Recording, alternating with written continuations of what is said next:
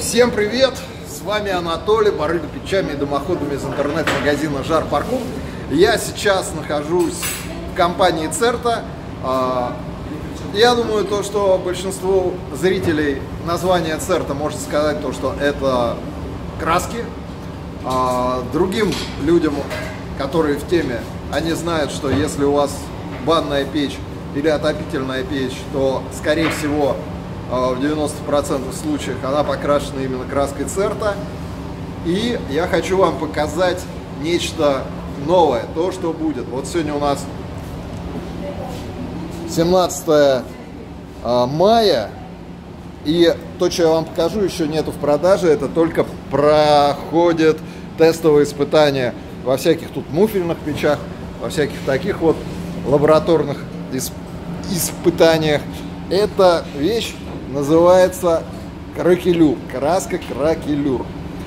А, у Церты есть бренд, называется Сиана.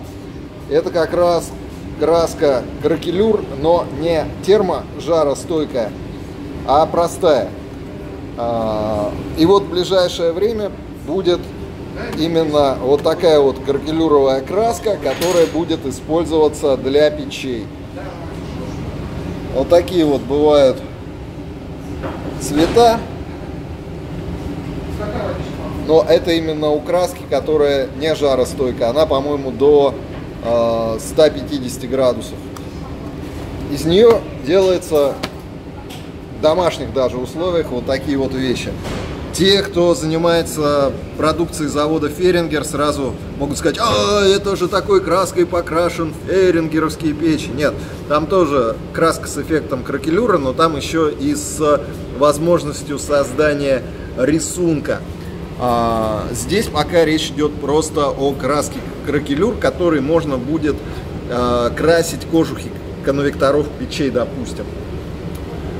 А, вот такая вот краска, вот так вот она выглядит. Один слой, первый, это желтый, второй слой это белый. И а, фишка краски еще заключается в том, то, что ее можно, ну не ее можно, а изделие можно гнуть, и она не лопается. А, вот чайник покрашенный с эффектом кракелюра, вот ваза, вот баллончики номер два баллончик и баллончик номер один. Бам. Значит, первым баллончиком наносится основа золотая, вторым баллончиком сверху красится и вторая краска начинает вот так вот трескаться. Тут вот всякие образцы. И я вижу, подошел сам Павел. Нет, не Павел. А кто Александр. вы? Александр. А вы? Начальник цеха. Э, покраска. Э, скажите, пожалуйста, давайте вот прежде чем что-то наносить, э, какие э, вот на данный момент вот э, бренд Сиана, какие температуры он выдерживает? Он- Сиана это не термостойкая краска. Мгм. Сиана предназначена для декора. Мгм. Это декоративная линейка. Сиана у нас представлена в аэрозольном баллоне. Мгм. А по печным делам какая краска А. планируется, сколько температуру держать Печ- будет? Печные дела у нас э, идет под брендом Церта. Церта Так. термостойкая. Черная Церта термостойка выдерживает 900 градусов. В зависимости от цвета у нас температурный режим термостойкости варь- варьируется от 300 до 900 градусов. Вот эта вот новая кракелюровая краска, она какие температуры будет держать? Сейчас э, вот эта линейка Сиана Кракелюр, она у нас э, тоже декоративная. Она пока на сегодняшний день не обладает э, термостойкостью. А термостойка эмаль Кракелюр, она в работе. Но скоро, я думаю, выпустим на рынок и предоставим все это потребителю. А какие, те- какие технические задачи, задания стоят у ней? Какую температуру держать будет? Э, Что вы хотите? От Сиана Кракелюр? Да. Нет, не от Сиана, а от Церта. А, от Церты Кракелюр? Да. Э, Мы пер- первое время хотим хотя бы температуру термостойкость, э, температурный режим хотя бы до 400 градусов. Чтобы красить э, верхние части печей, где температура накала не такая высокая, она то есть будет... кожухи скорее, потому да, что в верхней скорее, части скорее, там наоборот да, очень всего, жарко. Кожухи и где а температура будет примерно до 400 градусов. Угу. А вот верхней части, там где языки пламени бьют прямо по металлу, там уже 900 градусов. Ну 750-900 градусов. Это да. уже дальнейшие разработки будут. Это уже будут дальнейшие разработки, но э, первый, первостепенная задача это добиться э, температурного режима по кракелюру хотя бы до 400 градусов. Если мы это добьемся, то, конечно, будем работать дальше для увеличения термостойкости. А сейчас на момент съемки сколько температуру держит? 150 держит? А, вот это? Нет, не это, которую делаете. Она держит сейчас 200-250, но мы работаем. А в планах по срокам, что начальство сказало? Э, по к срок... какому числу сделать? По, по сроки, сроки, конечно, не хочется озвучить, но приблизительно в ближайшие полгода, я думаю, это будет ближайшие полгода. А какие технические условия будут для нанесения жиростойкой эмали, а, именно кракелюр? Какие-то особые или как у церты? Она будет, э, вот этот кракелюр будет тоже двухшаговый. Он будет как базовое покрытие, первый шаг, и будет верхнее покрытие. Над верхним покрытием э, можно будет по цветам уже в зависимости от пигмента, который будет поступать, играть. Можно любой цвет будет сделать. Какой будет самый ходовой, мы это будем анализировать угу. и мониторить постоянно. Но предварительно у нас будет, скорее всего, верхнее покрытие это белое и черное. То есть, э, если посмотреть э, на не термостойкой э, эмали, а на обычной, какой будет? Ну, будет примерно вот такой вот цвет. А в зависимости от основы, основу можно сделать серебристую, такую же, и золотую. А верхнее покрытие первое, первостепенно на начальном этапе будет, скорее всего, вот такая вот белая и вот такая вот черная. Mm. Черное золото или черное серебро? А, основы будут две. Золотая а, и, и серебристая. И серебристая. Да. Соответственно, это черное золото. Черное чер... золото, черное, черное серебро, серебро. И будет белое золото, золото белое серебро. серебро. Понятно. А какие-то особые условия к поверхности а, нужны там, ну я имею в виду к стали? Конечно, подготовка поверхности зависит, э, от подготовки поверхности зависит очень многое. 80% э, нанесения эмали и как она будет себя держать в будущем, в перспективе, зависит от подготовки поверхности. А что делать с поверхностью? Мы сейчас не про заводы говорим, а обычный человек, который хочет покрасить... Обычный э, человек, потребитель, э, обычно жиростойкой эмали. Как делать? Э, зашкуривается поверхность, э, удаляются лишние части ржавчины, сколы после сварки, окалин, точнее сварочные. Обязательно нужно обезжиривать поверхность и наносить уже краску. Наш, наш продукт, да, краску. А, давай покажем людям, что такое эффект кракелюра, как он вообще достигается и добивается. Вот я вижу, тут баночка есть, все готово. Я хватаю краску. Покажем? Давайте покажем. На примере этой банки мы покажем сейчас, как он раскрывается. Сначала мы обезжириваем поверхность. Э, здесь ничего шкурить не надо, она гладкая уже все. Просто необходимо ее обезжирить. Технический или питьевой? Что? Спирт. Нет, это у нас растворитель. А, нет, тогда не будем пробовать. Нет, так. ни в коем случае.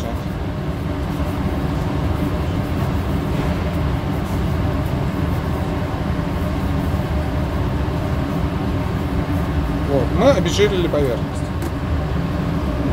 Переходим по краске.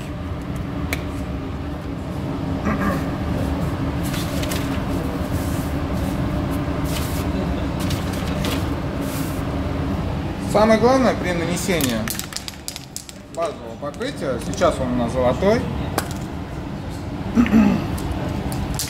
перемешать хорошо баллон и наносить тонким слоем. Здесь фактура у нас сложная. В том плане, что у нас вертикальная поверхность. Мы рекомендуем красить на горизонтальной поверхности все это дело.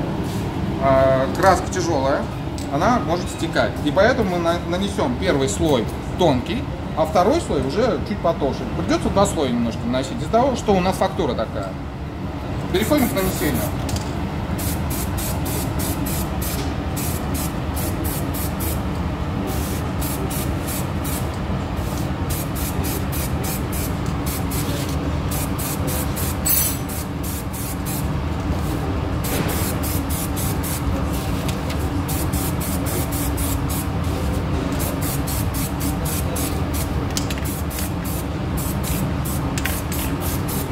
Сейчас нанесли первый тонкий слой.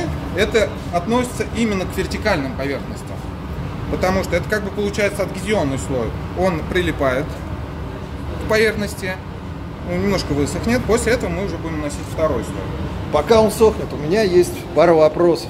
А вот смотри, человек купил печку, которая покрашена краской церта, то есть э, кожух э, печи покрашен, сама печка покрашена. Когда выйдет э, вот эта вот краска для кракелюра, он может купить, к примеру, просто э, второй слой баллончика, чтобы уже по готовой печи, которая окрашена краской, провести вот так вот Я и понял. получить вот этот вот Нет, эффект Я лопающийся. понял, понял этот вопрос. А, ска- Сразу, сразу скажу, что это будет невозможно, потому что, еще раз хочу повториться, это будет двухшаговый процесс. Первый шаг – это базовое покрытие должно быть обязательно. И при нанесении базового покрытия нужно будет проверять совместимость того покрытия, которое на печке находится. Ага, то есть у вас разные формулы. То есть, Нет. скажем, э, формулы э, церты, которые красят печь, и формула того, что находится в баллончике, может быть разная. Из-за этого вот это вот не ляжет. Нет, не даст э, вы меня немножко не поняли. Ага. Э, Формула у нас будет, конечно, разная. Мы будем нашу краску проверять изначально уже на совместимость покрытия базового с той краской, которая находится на печи, да, которую мы поставляем краску. Но самое главное, печи-то могут быть покрашены красками другого производителя. Вот. И печи, которые покрашены эмалью другого производителя, нужно будет проверять совместимо. А на нашей краске этого не надо будет делать. Ага, то есть, либо это человек делает на свой страх и риск, то есть он купил печку производства компании X и не знает, э, какой краской она покрашена, цертой или не цертой, потом покупает второй слой, красит, и что выйдет, это на его совести. Грубо говоря, он сам себе злодей. Да, может Нет, выйти, нет, а нет, может нет, не выйти. злодей. Еще раз, еще раз хочу пояснить, что это будет двухшаговое покрытие. Сначала нужно будет наносить первый слой, А у него уже первый-то, а первый слой не, на- не, не такой. то есть формула другая. Формула другая, конечно. А вот я этого и хотел услышать. То Формула есть формула другая, даже да. церты, которые красят печи на предприятиях, она другая, чем формула первого Конечно, покрытия. да, формула первого покрытия, она будет другая. Э, Эффект кракелюра это не простой эффект, это э, уникальный эффект. Такого не добьешься на обычной краске. Это уникальный эффект. Поэтому формула э, краска по рецептуре как... Сейчас запутался немножко, сейчас все. В общем, те, той краской, которой красит печи, даже если человек купит второй слой Слой. вот этот, Это- покрасит, ничего не выйдет. Да, ничего не выйдет. Нужен обязательно будет первый слой. Поэтому нужно будет э, первый слой сначала покрасить, уже подождать определенное количество времени. И после этого нужно будет покрасить только второй слой. А, еще второй вопрос. А, вот краска церта, это неправильно говорить, что это краска, это, скажи, как правильно говорить, жаропрочная эмаль или керама, керама э, или биолога. Термостойка, эмаль. Но наши краски, они краски специального назначения. Правильно можно будет сказать, что это эмаль специального назначения. А основной элемент а, там что это? Это полимер или это... Но рецептуру я не могу сказать, из чего она состоит. К сожалению, это коммерческая тайна. Просто мне а, производители печей говорят, что это сложный полимер, то есть происходит при нагреве печи полимеризация, только после этого краска пристает, то есть, ну, это не совсем краска, это что-то полимерное. Ну, это любая краска, она состоит из э, полимеров. Чем вопрос? Вот а, почему вот нужно обязательно печь протапливать, а, Почему? прежде чем Сейчас краска объясню. Хорошо. печь- пристанет? мы тоже рекомендуем перед использованием печь протапливать. Это объясню почему. Потому что э, после протопки, после термозакалки, краска уже эм, если простыми словами объяснить это все, прилипает к металлу, э, лишняя э, ароматика улетает, и она перестает дымить в процессе эксплуатации. И прилипает э, к металлу. Да, да. Это все простыми словами, для обычного обывателя. Понятно. Ну что, сможем второй слой да, нанести? Сейчас Прошло нам время. необходимо, да, покрасить второй слой. Это первый взял? Это первый слой сейчас, да. Можете выключить? А, почему выключаем вытяжную камеру? Это необходимо для соблюдения температурного режима и плюс времени высыхания. Если у нас будет вытяжка работать, она вот эта сторона высохнет быстрее, эта сторона высохнет меньше, и поэтому раскрытие будет неравномерное, скорее всего. Вот. А нам нужно равномерное раскрытие. Поэтому мы покрасим без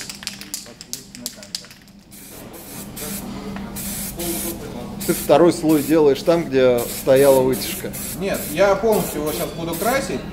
Э, сейчас объясню, в чем фишка. Почему одного слоя не хватило? Сейчас э, объясню все, ага. сейчас объясню.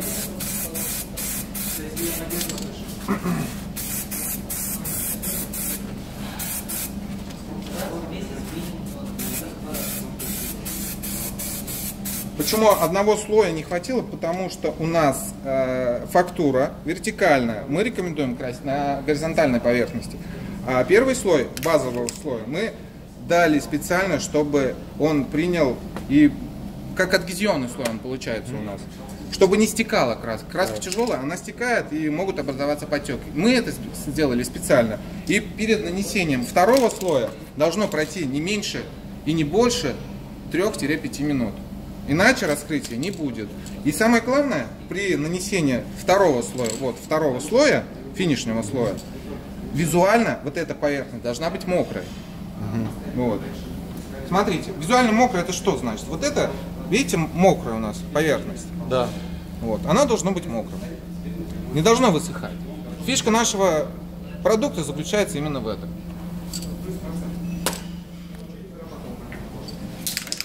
А в два слоя мы первым слоем нанесли, потому что первый слой подсох, пока мы говорили, и вторым нужно, чтобы был эффект мокроты. Да, да. То есть в обычном случае, когда ты не болтаешь, а красишь, это не надо. Второй да, слой. Да, да.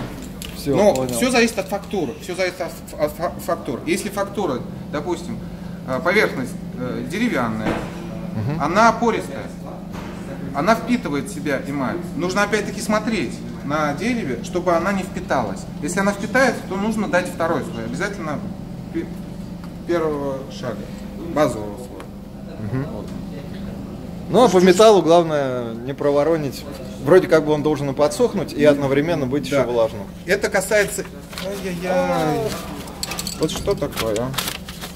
Слушай, это даже очень хорошо, мы покажем, что случилось при плохой э, Беда э, при беде. Да, да, да, да. Прямо по, по этому слою пройдемся. Очень а, хорошо. А мы можем его сейчас. Не надо, не надо. Мы как раз покажем, как все нормально будет. Угу. И если какие-то вот э, случились форс-мажоры, почему надо будет перекрашивать, давай прям покажем. Ну, по-хорошему нужно, конечно, его зачистить, заново покрасить. Да, но мы это не будем. Мы делать. это не будем делать, да? Просто показать вот что такое не легла краска. Хорошо. Вот э, еще одно условие, еще угу. одно условие. Вот сейчас у нас прошло, сейчас скажу, сколько времени прошло. Ну, минуты полторы. Э, прошло две с половиной минуты. Ждем еще секунд 30 и начинаем красить. Угу. А, тогда скажи, в чем отличие базового слоя от как этот слой называется? Верхний слой. Верхний слой. Э, тут э, совершенно разные. А, я опять-таки по рецептуре не могу ничего вам сказать. Почему? Потому что ну, это коммерческая тайна. Базовый слой, как, как объяснить простыми словами? Вот вам нужно простыми словами, правильно объяснить? Да. Э, ну, Хорошо, почему он лопается? Почему вот этот слой это лопается? Это химизм, химизм, поэтому он и лопается. Ага. Давайте будем красить. Давайте.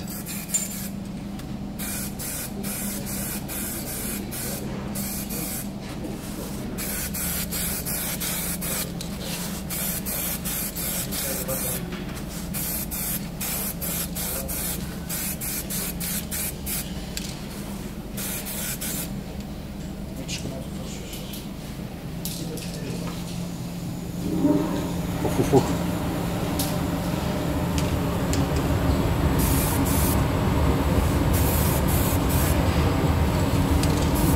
Тут мы проболтались, походу, опять. Ух ты! Пошло, пошло. Нашли я Покажу, как любят, что идет. Вот прямо на ваших глазах она начинает резко целилопаться.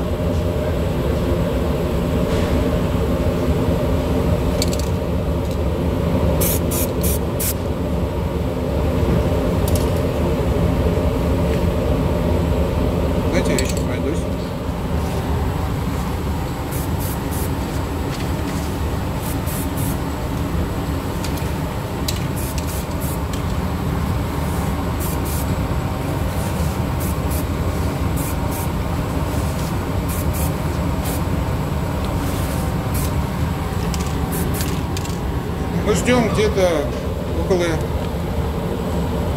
минут. Вот. Мы немножко сейчас на данном этапе простушили первый слой.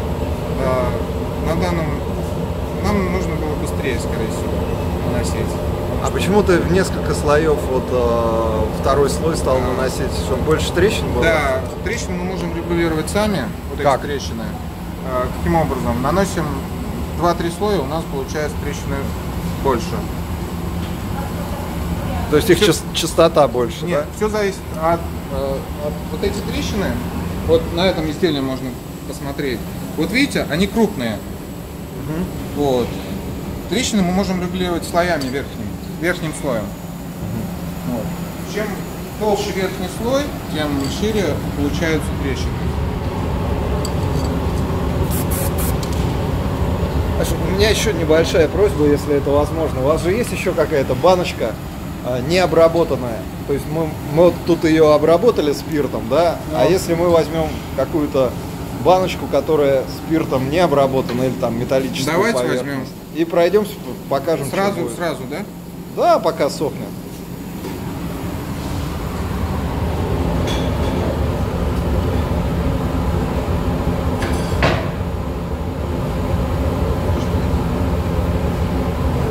Или про- просто крышку, или банку. Давайте мы покрасим на необработанной Да. поверхности. Это можно красить, да, на необработанной поверхности. Обычный потребитель, он, скорее всего, не будет заморачиваться. Ну да. Вот. Возьмет, покрасит, ничего не будет делать. Поэтому мы сейчас сделаем таким образом. Но Выключила на сегодняшний вытяжку. Не, не надо. Э, Мы пересушили вот э, первый слой. Из-за этого мы сейчас будем соблюдать инструкцию прям четко. Может быть тогда протрем половину банки, а про вторую половину не протрем? Да, давайте ничего не будем протирать, чтобы Давайте. эффект получился. Э, Обезжиривание поверхности, оно удаляет лишние механические загрязнения, пятна, жиры. Руки-то у нас все равно жирные, поэтому... Сейчас попробуем. Начнем красить. Мы сейчас сделаем один слой, попробуем в один слой все покрасить. Не два слоя, а в один базовый покрытие. Что у нас получится? Может быть потеки увидим.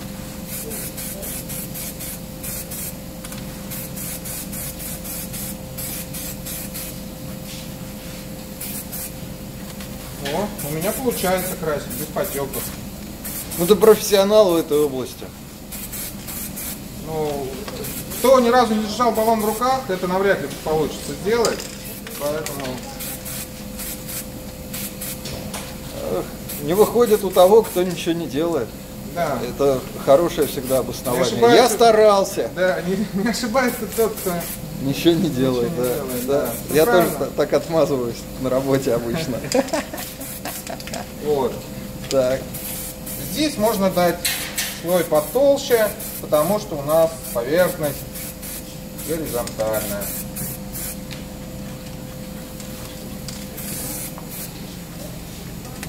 С первого раза эффект может не получиться. Нужно соблюдать инструкцию. 11.49. 11.49. Мы покрасим ровно через 3 минуты. Хорошо. Давай посмотрим пока, что написано в инструкции. Вот. Тут, кстати, написано, вы сами можете регулировать размер трещин. Финишное покрытие 1-2 слоя, финишное покрытие 3-4 слоя, трещины толще. 5-6 слоев, трещины вообще прямо очень толстая. Нанесите базовый слой, через 3 минуты нанесите финишный слой и получите уникальный результат.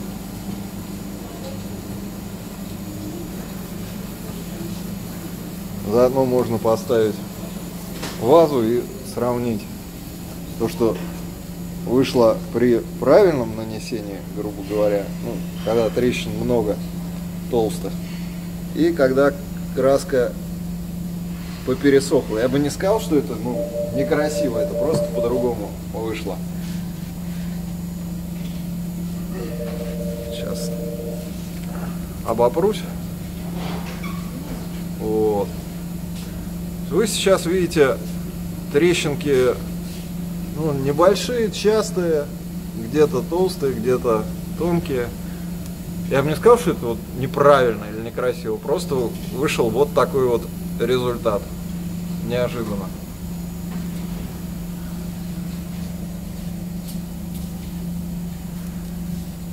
Ну что тут? Сейчас. Еще одна минута. То есть прям вот надо сугубо соблюдать. Да, очень, очень, очень нужно соблюдать процесс. технологический процесс покраски. От этого все зависит. Все зависит от, говорю же еще раз, повторяюсь, все зависит от времени нанесения первого слоя, зависит от температуры окружающего среды в помещении, на улице, где вы красите.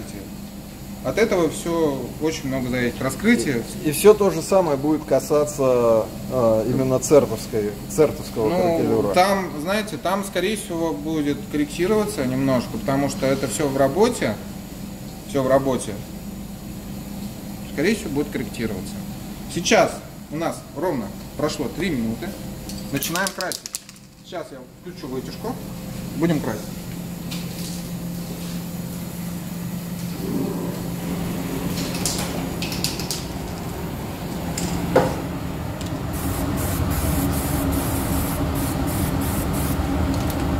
Паук попался. Какой-то паразит попался, да.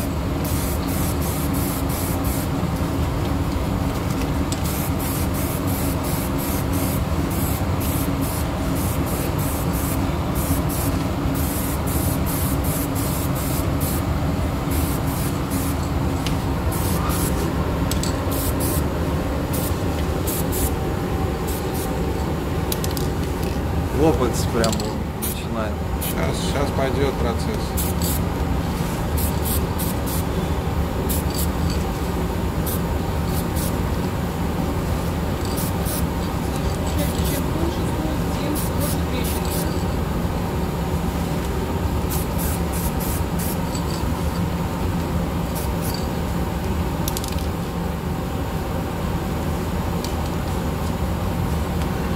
Сейчас не крути, давай. Вот пошли у нас трещины. А, еще раз повторяю, все зависит от времени высыхания, от температуры. Мы сейчас ровно 3 минуты прождали перед нанесением верхнего слоя и получили, и на глазах уже получается эффект трещин, на глазах.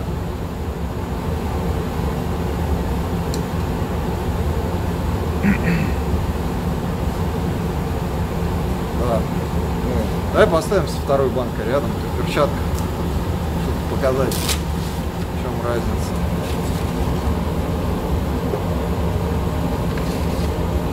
Сейчас 5 секунд. Даже наверху, если по крышке смотреть, у нас эффект здесь лучше намного выходит, чем вот на этом изделии. Вот эти три минуты надо обязательно соблюдать. Обязательно.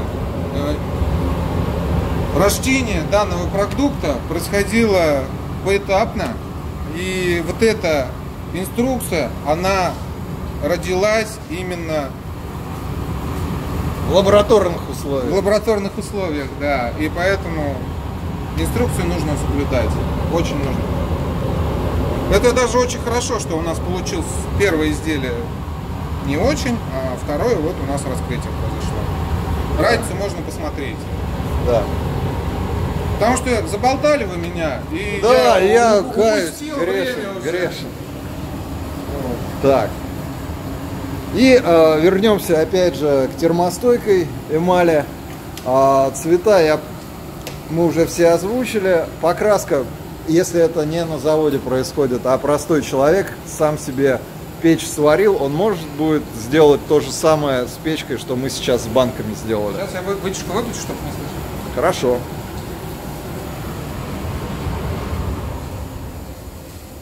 То же самое, что с банками, конечно, может э, нанести базовое покрытие, нанести верхнее покрытие. Вот.